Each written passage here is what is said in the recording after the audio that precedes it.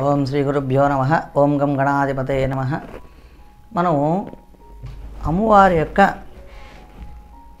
పూజ అమ్మవారి యొక్క పూజ సందర్భంలో ఎటువంటి పుష్పాలు ఉపయోగిస్తే అమ్మవారి యొక్క పరిపూర్ణ అనుగ్రహం మనకు కలుగుతుందో తెలుసుకుందాము.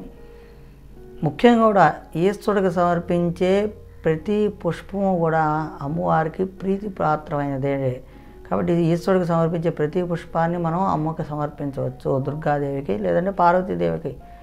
తర్వాత వచ్చేసి అపామార్గము. అపామార్గం అంటే ఉత్తరేణి. ఉత్తరేణి యొక్క పువ్వులతో అమ్మవారికి పూజ చేస్తే మిక్కిలి విశేషమైనటువంటి ఫలితాలు రావడానికి ఎంతో ప్రీతి అనమాట అమ్మవారికి. కాబట్టి అది విశేషమైనటువంటి ఫలితాలు రావడానికి ఉత్తరేణి పువ్వులతో మనం పూజ చేసినప్పుడు ఎటువంటి కష్టాలున్నా కూడా తొలగిపోవడానికి ఆస్కారం ఉంది. అట్లాగే అమ్మవారికి ఎరుపు రంగు పుష్పాలతో పూజ చేసినా కూడా మంచి ఫలితాలు అనేది ఉంటాయి. అట్లాగే తెల్ల రంగు పుష్పాలు అయినప్పటికీ కూడా సుగంధభరితం అంటే మంచి సువాసన వచ్చేటువంటి మంచి పూలతో అమ్మవారికి అర్చన చేసినప్పుడు మనకి ఎంతో విశేషమైనటువంటి ఫలితాలు రావడానికి ఆస్కారం ఉంది. మల్లెపూలు జాజి పువ్వులు తామర పువ్వులు కలువలు తర్వాత వచ్చేసి మోదుగ అశోక చంపక తర్వాత గన్నేరు జిల్లేడు జిల్లేడు పూలు కూడా అమ్మవారి యొక్క అర్చనలో వాడచ్చండి తెల్ల జిల్లేడు కానీ. ఒకుళ సంపంగి శంఖ పుష్పాలు ఉన్నాయి కదా ఆ నీలం రంగు శంఖ పుష్పాలు శనేశ్వర పూజలు వాడతాం. ఆ శంఖ పుష్పాలను అమ్మవారికి అర్చన చేసినప్పుడు కూడా శనేశ్వర గ్రహ బాధలు తొలగిపోవడానికి ఆస్కారం ఉంది. ఆ శంఖ పుష్పాలను కూడా అమ్మవారి యొక్క అర్చనలో వాడచ్చు.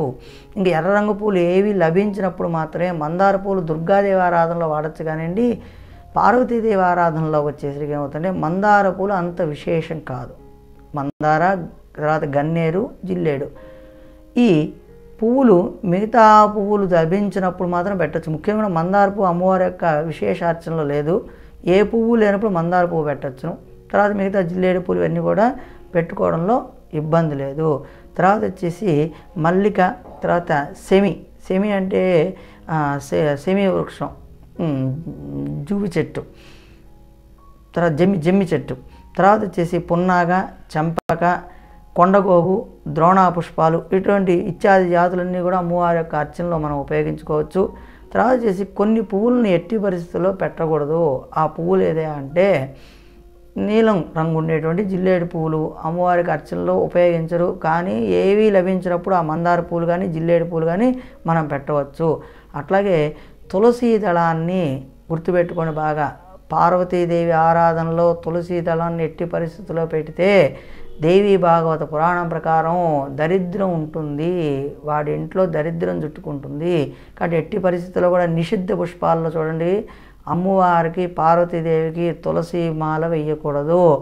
తులసి దళాలతో అర్చన చేయకూడదు. అట్లాగే దుర్గాదేవిని దూర్వంతో దుర్గాదేవిని. గణేశం తులసి తులసి పత్రం దుర్గం నైతు దూర్వయ. అంటే దుర్గాదేవిని ఎట్టి పరిస్థితుల్లో ఈ దూర్వం అంటే ఇది గరికతో పూజ చేయకూడదు. గుర్తుపెట్టుకోండి. అంటే మనము మిగతా పుష్పాలతో చేసిన చేయకపోయినా ఇటువంటి నిషిద్ధ పుష్పాలను మాత్రం తర్వాత బృంగరాజం తర్వాత తమాలము అంటే తమలపాకుతో ఉన్నటువంటి పువ్వులు ఇవి శివ పూజకు కానీ దుర్గా పూజకు కానీ ఎట్టి పరిస్థితుల్లో వాడకూడదు అనేసి భవిష్య పురాణం వచ్చిన ఏదో నేను చెప్పినటువంటి విషయం కాదు. కాబట్టి ఎట్టి పరిస్థితుల్లో కూడా తులసి దళాన్ని అమ్మవారి యొక్క అర్చనలో వాడకూడదు. కాబట్టి గమనించుకోనండి దూర్వ అట్లాగే గరికని కానీ తులసి దళాన్ని కానీ అమ్మవారికి నిషిద్ధము.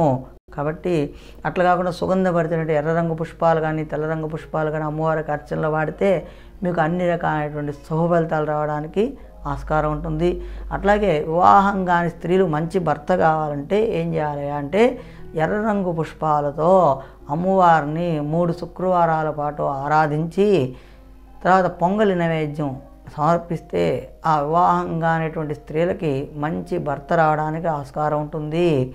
అట్లాగే భార్యాభర్తల మధ్య తరచూ గొడవలు సంభవిస్తూ ఉంటే అమ్మవారికి పసుపు కుంకుమ తర్వాత వచ్చేసి ముత్తైదు సామాన్ అంటే ఏమున్నాయి? కాటుక అట్లాగే సాంబ్రాణి ఇవి సమర్పించి అమ్మవారికి. తర్వాత వచ్చేసి ఏం చేయాలంటే ఆ అమ్మవారి యొక్క ఆరాధన చేస్తే శుక్రవారం పూట అప్పుడు ఏమవుతుంది అమ్మవారి యొక్క అనుగ్రహం అనేది కలిగి ఆ భార్యాభర్తల మధ్య సఖ్యత ఏర్పడడానికి ఆస్కారం ఉంటుంది.